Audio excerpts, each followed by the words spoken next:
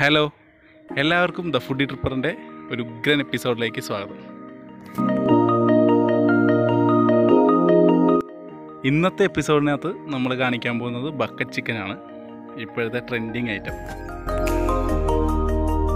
രണ്ട് രീതിയിൽ ഞങ്ങൾ ഇന്നത് ഉണ്ടാക്കുന്നുണ്ട്. ഒന്ന് സ്കിന്നോട് കൂടിയ ചിക്കനും ഒന്ന് സ്കിന്നില്ലാത്തതും സ്കിന്നോട് കൂടിയത് നമ്മുടെ റിയൽ തായ്ലൻഡ് റെസിപ്പി. നമ്മുടെ ആരിസിക്ക പറഞ്ഞു തന്ന ആ ഒരു റെസിപ്പിയാണ് ഫോളോ ചെയ്യുന്നത്. പിന്നെ ഞങ്ങളുടെ ഇന്നത്തെ സ്പെഷ്യൽ മാസ്റ്റർ ഷെഫ് രഞ്ജിത്താണ്. അഡീഷണലായിട്ട് ഞങ്ങൾ ഈ ഒരു സംഭവം ചേർക്കുന്നുണ്ട്. പച്ചക്കുരുമുളകും കാന്താരി മുളകും ഒരു പത്ത് പന്ത്രണ്ട് കാന്താരി മുളകും ഒരു കൊല പച്ചക്കുരുമുളകും അരച്ചു. ഇതിനകത്തോട്ട് രണ്ടര ടേബിൾ സ്പൂൺ ഇഞ്ചി വെളുത്തുള്ളി പേസ്റ്റ് ചേർക്കണം. രണ്ട് ടേബിൾ സ്പൂൺ പച്ചമുളക് അരച്ചത്.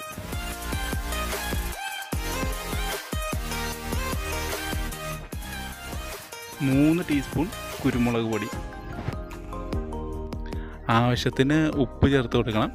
അതിനുശേഷം ഒരു ഒന്നര നാരങ്ങ എടുത്തിട്ടുണ്ട്. സാമാന്യം വലിപ്പമുള്ള ചെറുനാരങ്ങ ഒന്നര പീസ് എടുത്തിട്ടുണ്ട്.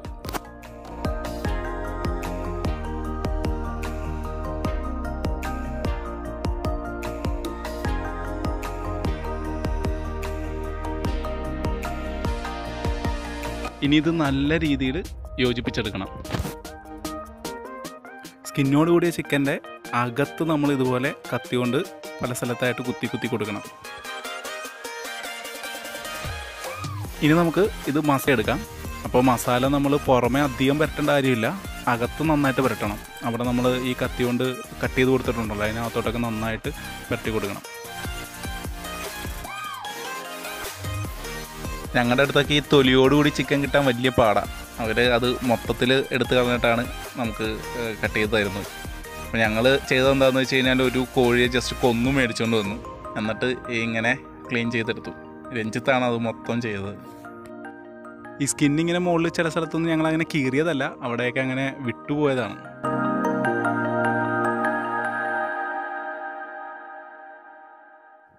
ഇനി ഇത് ഒരു മണിക്കൂർ നേരത്തേക്ക് ഫ്രീസറി വയ്ക്കാം അപ്പോൾ ഈ മസാലയൊക്കെ ശരിക്കും അങ്ങോട്ട് പിടിക്കുകയുള്ളൂ ഇനി നമ്മുടെ കേരള സ്റ്റൈൽ ഒരു രണ്ട് tablespoon ginger garlic paste രണ്ട് ടേബിൾ സ്പൂൺ ചിക്കൻ മസാല ഒരു ടേബിൾ സ്പൂൺ മല്ലിപ്പൊടി ആവശ്യത്തിനുള്ള ഉപ്പ് രണ്ടര ടേബിൾ സ്പൂൺ കുരുമുളക് പൊടി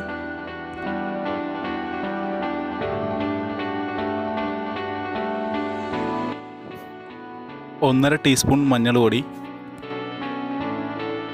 അര ടേബിൾ സ്പൂൺ പച്ചമുളക് പേസ്റ്റ് രണ്ട് ടേബിൾ സ്പൂൺ കശ്മീരി മുളക് പൊടി. ഇനി നേരത്തെ പോലെ തന്നെ ഒന്നര നാരങ്ങ എടുത്തിട്ടുണ്ട്.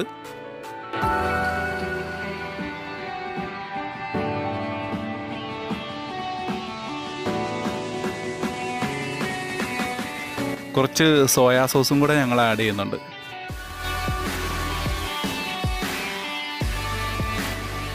കൈകൊണ്ട് തന്നെ ഇത് നന്നായിട്ട് യോജിപ്പിച്ചെടുക്കണം. ചിക്കൻ ഇതുപോലെ വരഞ്ഞു കൊടുക്കണം നല്ല ഡീപ്പായിട്ട്.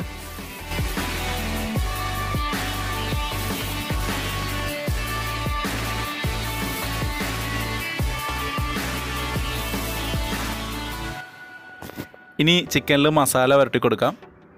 നമ്മൾ ആ വരഞ്ഞു കൊടുത്തതിനകത്തോട്ടൊക്കെ മസാല കയറ്റി കൊടുക്കണം. അകത്തും പുറത്തുമൊക്കെ മസാല ധാരാളം പുരട്ടി കൊടുക്കണം.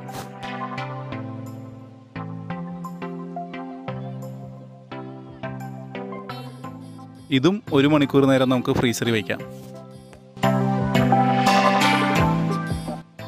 ഇനി നമുക്ക് ഇതുപോലെ കമ്പ് കുത്തി കൊടുക്കാം. ഇക്കയുടെ വീഡിയോയിൽ കാണിച്ച അതേ രീതിയിൽ ഞങ്ങളിത് പേരക്കമ്പാണ് ചെത്തിയെടുത്തിരിക്കുന്നത്. മുകളിലും താഴെയും കാലിലും ആ ചിറകിലുമായിട്ട് ഇങ്ങനെ കൊടുക്കുമ്പോൾ അത് നന്നായിട്ട് ഒതുങ്ങിയിരുന്നോളും ചിക്കൻ.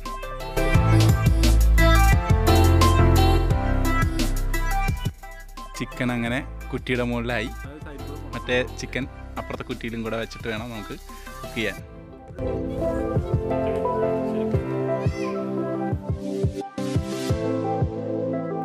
രണ്ട് രീതിയിലും ചെയ്യുമ്പോൾ ഇതിൽ ഏതാണ് കൂടുതൽ ടേസ്റ്റി എന്ന് നമുക്കിപ്പോൾ അറിയാം. എണ്ണപ്പാട്ട തന്നെയാണ് ഞങ്ങൾ അതിന് വേണ്ടിയിട്ട് യൂസ് ചെയ്യുന്നത്. നമുക്ക് അത് വെച്ച് ചിക്കൻ ഇങ്ങനെ മൂടി വയ്ക്കാം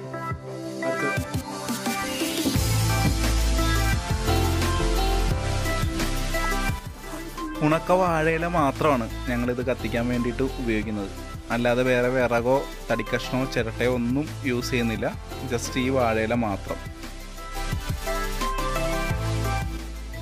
അപ്പോൾ നമ്മൾ തായ്ലൻഡ് രീതിയിൽ ആ നാല് സ്റ്റെപ്പായിട്ടാണ് ഇതും കത്തിക്കുന്നത്.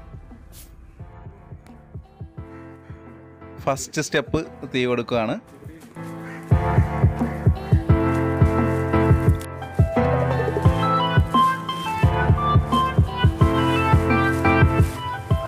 ആദ്യത്തേത് കത്തി തീർന്നു.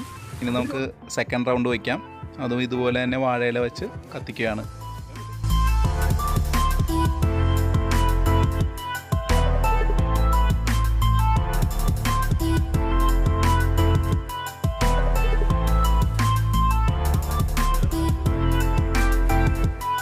സെക്കൻഡ് റൗണ്ടും കത്തിക്കഴിഞ്ഞു ഇനിയിപ്പോൾ നമുക്ക് തേർഡ് റൗണ്ട് ഇതുപോലെ തന്നെ കത്തിക്കാം.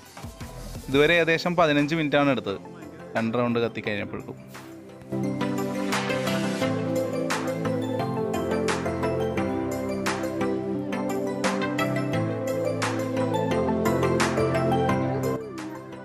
ലാസ്റ്റ് റൗണ്ടായി ഇത് ഞങ്ങൾ മിച്ചം ഇരുന്ന വാഴയുടെ എല്ലാം കൂടെ കൂട്ടിയിട്ടങ്ങ് കത്തിക്കുകയാണ്. എന്തായാലും ഇത് ഓവറായിട്ട് വെന്തിട്ടുണ്ടാവില്ല. കാരണം പെട്ടെന്ന് പെട്ടെന്ന് കത്തി തീരുന്നുണ്ട്. ഈ ഒരു കനൽ കെടുന്നത് വരെ നമുക്ക് വെയിറ്റ് ചെയ്യാം. കനലും തീയും എല്ലാം കെട്ടടങ്ങി. നമ്മൾ വെള്ളം ഒഴിച്ചൊന്നും അണച്ചതല്ല.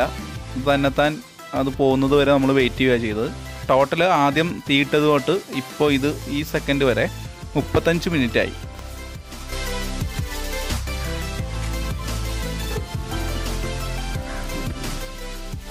യെസ് നമ്മുടെ ബക്കറ്റ് സോറി നമ്മുടെ പാട്ട എണ്ണപ്പാട്ട പൊക്കുകയാണ്. ഇത് ചിക്കൻ നല്ല അടിപൊളിയായിട്ട് ഇരിപ്പുണ്ട് വെന്ത് നല്ല പാകമായിട്ട് തന്നെ ഇരിപ്പുണ്ട്. കരിഞ്ഞു പോയിട്ടോ ഒന്നുമില്ല. അടുത്തത് നമ്മുടെ കേരള സ്റ്റൈലാണ്. യെസ് അതും കാഴ്ചയെ തന്നെ അറിയാം. നല്ല രീതിയിൽ വെന്ത് പാകമായിട്ട് ഇരിപ്പുണ്ട്.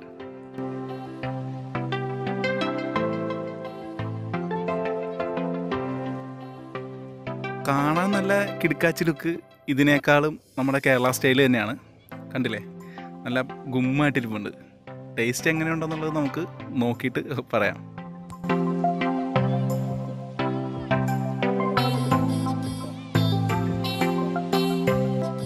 ഇത്രയും തായ്ലൻഡ് രീതി തന്നെ ആയതുകൊണ്ട് ഇതായിട്ട് ഞങ്ങൾ മാറ്റുന്നില്ല.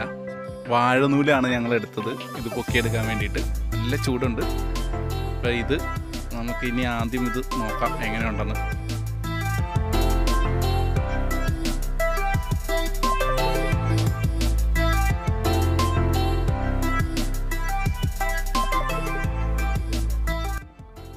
എന്തായാലും ഇവിടെയൊക്കെ ഇപ്പോൾ ഒരു പ്രത്യേക സ്മെല്ലുണ്ട്. നല്ല ഒരു എന്താ പറയുക നല്ലൊരു അരോമ. അടിപൊളി. കൂടുതൽ ഡെക്കറേഷൻ ഒന്നുമില്ല കേട്ടോ. ആദ്യം തന്നെ ഈ കമ്പങ്ങ് ഊരിക്കളയാം. അതിനി നമുക്ക് ആവശ്യമില്ല.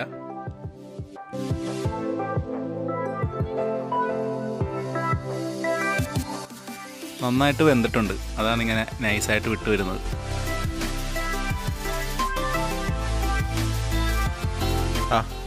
എക്സ്പ്രഷൻ കണ്ടാൽ മതി. ഇനി കൂടുതലൊന്നും പറയണ്ടല്ലോ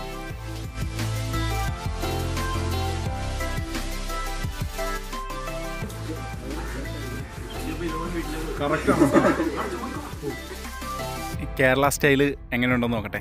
അതും നന്നായിട്ട് വെന്തിട്ടുണ്ട്.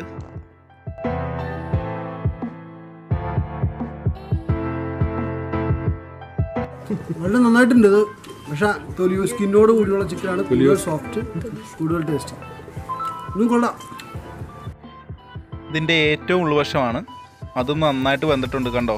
നമുക്ക് വളരെ സിമ്പിളായിട്ട് അത് പറിച്ചെടുക്കാം. അതുപോലെ തന്നെ ഇതിന്റെ ആ കുരുമുളകിന്റെയും പച്ചമുളകിന്റെയും കാന്താരി മുളകിന്റെയും ഒക്കെ ആ ഒരു ടേസ്റ്റും ഫ്ലേവറും ഒക്കെ ഇതിനകത്ത് കിട്ടുന്നുണ്ട്. നാരങ്ങയുടെ പുളിപ്പും കൂടെ ആകുമ്പോൾ വേണമെങ്കിൽ ഒരു അല്പം നാരങ്ങ ഇപ്പോൾ കഴിക്കാൻ നേരത്ത് ഒന്നും കൂടെ ഒന്ന് സ്ക്യൂസ് ചെയ്ത് ഒഴിക്കാം. അതില്ലേലും അതിന്റെ ആ ഒരു പുളിപ്പ് നമുക്ക് കിട്ടുന്നുണ്ട്.